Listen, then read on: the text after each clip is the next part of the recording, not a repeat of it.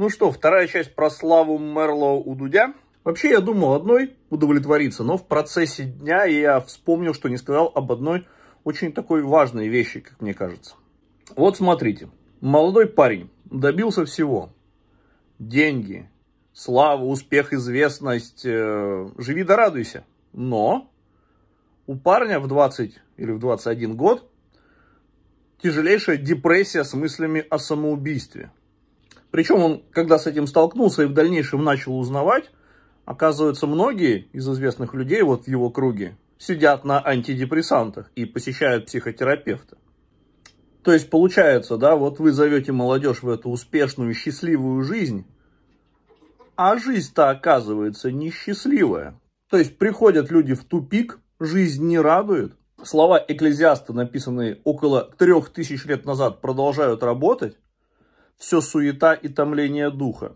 Или как э, предложил толкование один из православных поэтов и романах э, Роман Матюхин, Матюшин, все, что, э, святы твои слова, экклезиаст, все, что без Бога, суета суетствий. То есть, вот мне кажется, это важно. Все стремятся к славе, к успеху, к богатству. А когда приходит, оказывается, что что-то не радостно. Счастье-то что-то не в этом. И без Бога оно как-то, ну вот видите, человек добился успеха с мирской точки зрения прям колоссального. То есть, ну, как бы, многие бы из современной молодежи мечтали о таком. А счастья нет. Прикиньте.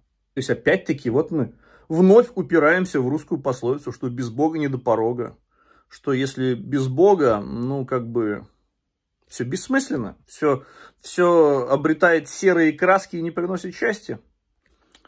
Такие дела. Поэтому желаю всем поскорее наладить отношения с Богом, чтобы жизнь была посчастливее. Потому что с Богом радостно.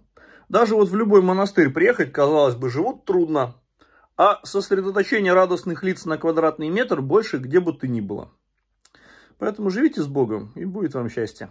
С вами был иеромонах Александр Митрофанов. Подписывайтесь, распространяйте. До встречи в эфире.